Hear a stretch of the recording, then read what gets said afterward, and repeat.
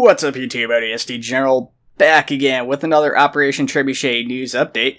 Uh, this week, guys, we have plenty of awesome stuff to show off to you guys. So, uh, without further ado, let's go ahead and hop into it. Starting us off, we have the uh, Pringles can, as it's been dubbed, or the SRS's uh, silencer has been downsized by Edford G. Um, it was big, it was oversized, it was ridiculous looking. I loved it, but this obviously new one is a lot more realistic looking um, less ridiculous looking, and uh, it's probably a good change in the long run for the realism aspect of Operation Trebuchet. Uh, nothing else really major to report on this. It's just an aesthetic upgrade or change as far as I'm aware. So we're gonna go ahead. We're gonna continue on to probably the biggest thing from this news update, uh, at least in the sense of most excitement and hype. Uh, we have the new grenade launcher being worked on by Vespade. Um, this project was requested by someone else, but Vespade's been working on it for them. This is the XM525, or at least I believe that's the name they're going to be going with. Uh, this is based off of concept art from Halo Reach, or not Halo Reach, but uh, from one of the Halo games. I don't know which one. This is Bungie concept art, though.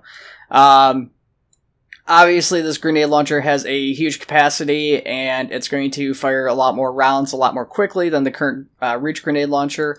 Uh, not much else to report on it now. Obviously, there is some deviations from the uh, concept art, as the stock, the scope, and a few other parts are showing some differences. Instead, going with uh, kind of a basis off of some of the other weapons from uh, Halo and other sources. So, uh, a very cool looking weapon. I'm very excited for this thing. Kind of curious to see how it actually ends up performing, what sort of rounds and stuff it actually ends up using. I'm assuming it'll obviously use like 40 millimeter grenades, but if special ordinance is any indication, that's probably where this will end up first.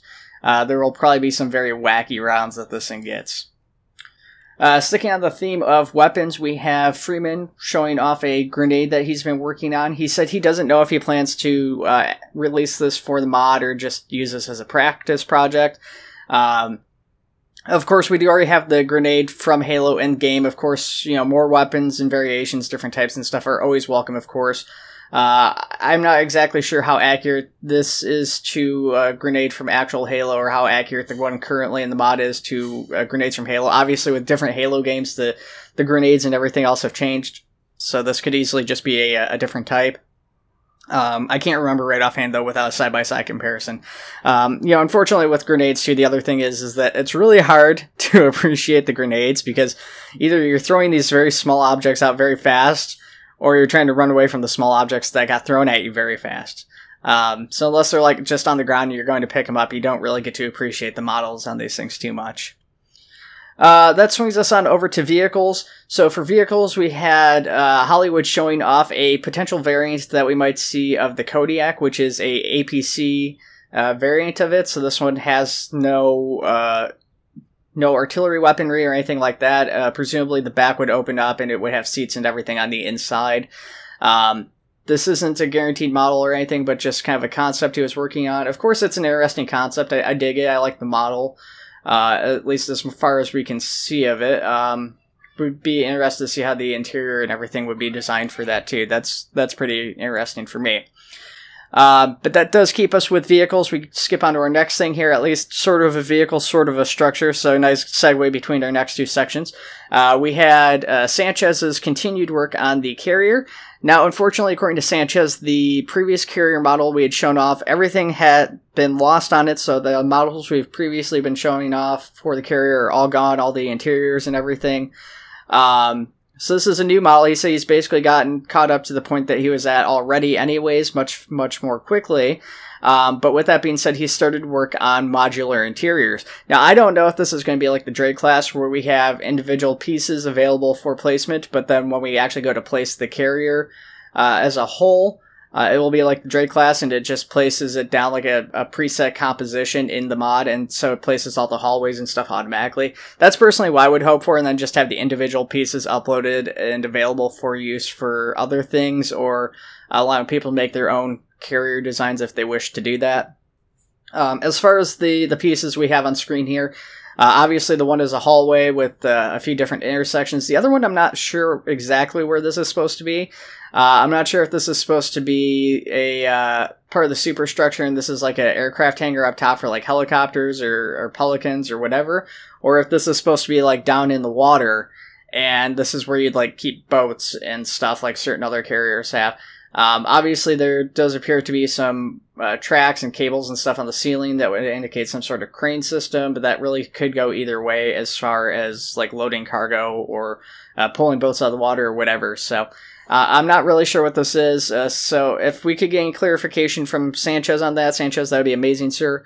Um, either way, I'm very excited for this. Obviously, this carrier is one of those things I've been like basically fawning over and begging for for uh, like years now. So super excited to see this.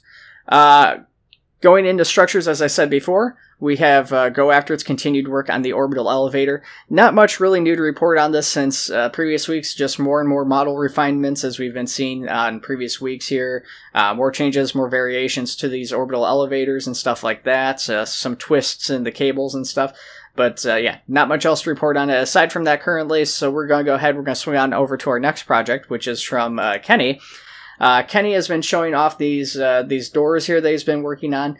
Now I'm not exactly sure what he meant when he posted about the doors, so I want to just quote him on that. He says, "Been working on a set of objects for the new buildings so that they can be optimized as much as possible by using the same objects with the same textures.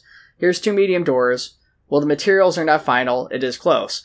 So I don't know if he means when he's talking about optimizing it, making it easier for uh, community members such as myself to to make missions and stuff, and obviously do map making, or if he's talking about like actual like modeling of buildings for the development team. So people like uh, Hollywood and himself who are going to be working on buildings having these pre-made set assets that they can plop onto a model super easily. Uh, I'm a little unclear on what the uh, what the intent or mention was for that. So, uh, Kenny, as far as you go, could you clarify that down in the comments? I didn't have a chance to reach out to you before I had to record this. I'm already running behind, so I can't ask you now, unfortunately. So, uh, if you happen to see this, if you could let us know what you mean on that, that would be super appreciated. Uh, anyways, with regards to the door, we do have some video of that too, showing off the doors opening in different directions, as well as uh, a double door that opens both directions to the left and to the right. Uh, that brings us on over to community news. Now, as far as community news goes, we do have a, uh, a kind of a cool project being started. Uh, has started what appears to be a, I, I believe I was even told it was an insurrectionist tank. I can't remember if it was an insurrectionist tank or just supposed to be a tank in general for OPTRE. Uh, this will be a, a custom asset, obviously not based off of uh, anything in particular, but uh, kind of an interesting thing. A little bit of a sci-fi feel, a little bit of a World War II feel, almost combined here. Um, definitely interested to see where this project goes. Obviously, it's still very early on. We we have uh, the turret and substance painter and everything like that, but it's missing a barrel. It's missing rest of a tank. So. Uh, once that sees further development, though, I'm excited to see where it goes and continuing uh, reporting on that. Other than that, guys, that is uh, everything for this week.